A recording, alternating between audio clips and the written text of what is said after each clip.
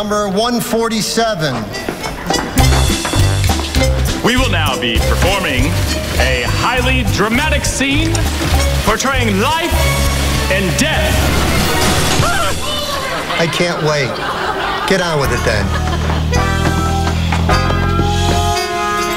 Tell me, patient, can you feel this? Sorry, Victor, it was a reflex. Let me make you more comfortable. Sorry, I, trying to.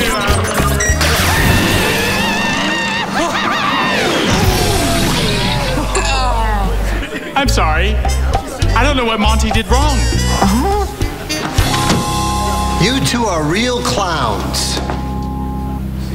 That's perfect for my show. We're done here. The rest of you can go home.